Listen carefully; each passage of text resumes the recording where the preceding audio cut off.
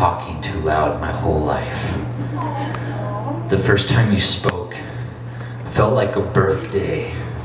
We were the gifts to be opened again and again. When I learned that you like chocolate dipped honeycomb, I wanted to give you cocaine and beehives to see if you like to live dangerously. We put our shoes together to see who had bigger feet and realized we wanted to know everything that was unknowable before how we're same, how we're different, and if life mattered to us now more than it did before. My big toe could probably fit in your ear. and your nose could probably fit my belly button. and we wonder if lions could resist eating zebras, if they knew that we are all connected, guys, such, by such intricate similarities, and if the whole world could love, if they knew about our discovery. Every summer, we watch that monsoon lightning, lightning like it's our favorite pinball game. They say lightning never strikes the same place twice, and you only have one true love. Is your car lit up like a firefly's insides? Thunder so loud our hearts were forced to. Look, we've all been heartbroken, right? Lightning is always strike where it's supposed to, resulting in forest fires and dangerous swimming pools. Likewise, if love strikes it should not, we get the makings of tabloid, Shakespeare, and difficult childhood.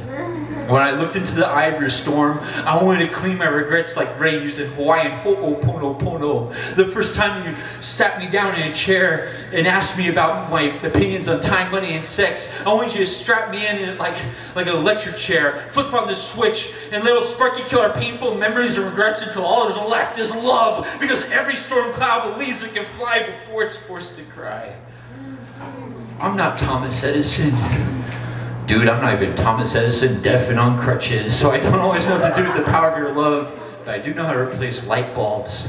So if things aren't perfect, blow a circuit and open the fuse box in my ribcage and I'll give you some power because our love is rekindling your car during a monsoon storm. Boom, thunderclap. Boom, lightning flash. Boom, hold hands, lock lips, rub your feet in the carpet. Use the static to kiss my stomach. You're my special K. My hot wire, my fire, this lightning we are watching is looking for a conductor. This lightning speaks. This lightning knows how Zeus and Thor handle electricity for a living. This lightning can't see you smile because it's staring at your eyes from two inches away. This lightning broke its glasses, but it can smell you in bed every morning.